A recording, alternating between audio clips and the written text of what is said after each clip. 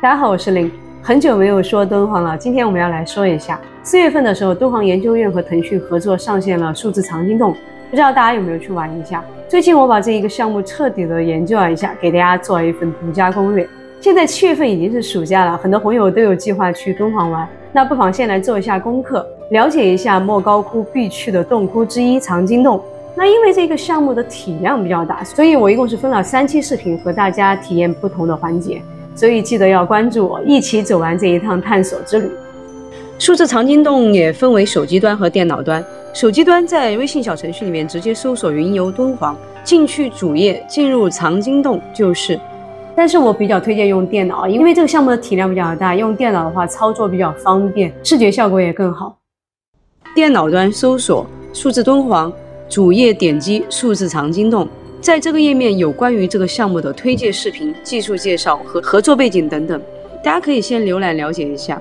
最后回到页面的上端，点击进入游戏。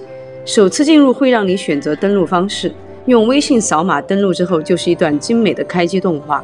从莫高窟的地理环境沙漠开始，一直到十六窟内景，最后进入藏经洞。不得不说，毕竟是腾讯啊，这个画质据说是达到了毫米级的超高精度。确实，画面看下来是超清精美，很赞。最后画面停在十六、十七窟面前，点击启程，我们就正式开始探索了。大家看到这里门上有个蓝色的倒三角，点击就会有相应的知识点介绍。这里是介绍十六、十七窟外面的三层楼是怎么回事。我们现在进入的是十六窟，要走一段比较长的甬道。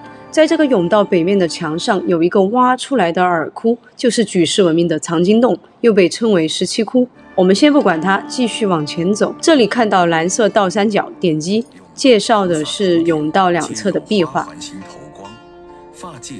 我们继续往前走，进入十六窟的正殿。这里点击右上角的灯泡，然后就把整个洞窟照亮了。这个功能还挺赞的。好，进入洞窟，我们之前说过，先看整个洞窟的结构和形制。十六窟在莫高窟里面算是大型洞窟，晚唐时候开凿的，看得出来很宽敞。这个窟形是覆斗顶的殿堂窟，所谓覆斗顶，就是上面这个顶像一个倒扣过来的米斗。窟顶是西夏时候画的贴金的团龙藻井，点击蓝三角可以了解详细信息。为西夏扶苏贴金的四龙团凤藻井。再来看塑像，十六窟中间是一个马蹄形的佛坛，上面一共有九尊塑像，一佛二弟子，两个胁侍菩萨，四个供养菩萨。之前本来是宋代时候塑的，后来清代又全部重塑过。最后看壁画，佛背后这个通顶的背屏上面的壁画是晚唐的，也就是和十六窟建造时间是同期的。但是其他四面的壁画都是西夏时候画的千佛，它是重层壁画。敦煌民间到了莫高窟，进入洞窟之后，如何欣赏敦煌的石窟艺术？之前我做了蛮多的基础的科普视频，大家可以去找来看一下。这里的话，我还要再跟大家推荐一下这一套敦煌三书，它是敦煌研究院的第一任院长常书鸿先生写的。那么这三本书呢，分别是综合性的介绍了敦煌艺术、敦煌壁画，还有敦煌的雕塑。文字写的浅显易懂，而且像书里面还配得有插图，像这里是介绍了敦煌石窟的形制，还有敦煌的壁画等等。大家如果想学习敦煌艺术的话，可以去买来看一下。好，那么刚才是看完了十六窟。我们现在再回头去看一下甬道上的十七窟藏经洞。藏经洞也是覆斗顶，小小的，高三米，长三米。正对门是一个禅床，上面坐着的这个高僧就是红遍十六窟的开窟人。这尊塑像是莫高窟的彩塑代表作之一，非常写实。红遍像后面是一幅晚唐壁画，画的是菩提树和两个女性人物。这里还有张大千的题字。我在之前张大千的视频里面也提到过，张大千在题字里面盛赞这个人物画画得有多么好。